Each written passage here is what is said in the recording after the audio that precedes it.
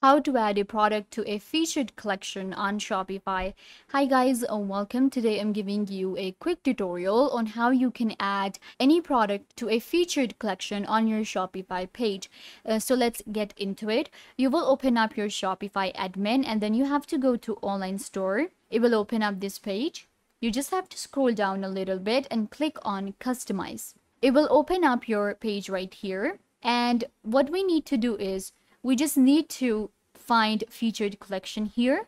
So you can see we have featured collection added. You can also add a section if you cannot find it, then just like scroll down and add the section first. So this is our, you know, featured collection. Open it up. And now what I can do is I can add any product right here. So you can see this is like our collection. I'm going to click on change click on change collection and then now I can add different products from my store that I have. I can create a new collection or I can select the one that I already have. So I'm going to select this one like my homepage collection.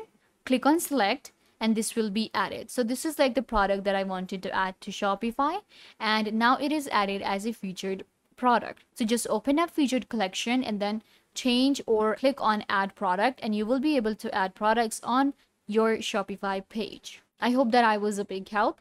Don't forget to give this video a big thumbs up, leave a comment down below, turn on bell notification, and subscribe to the YouTube channel.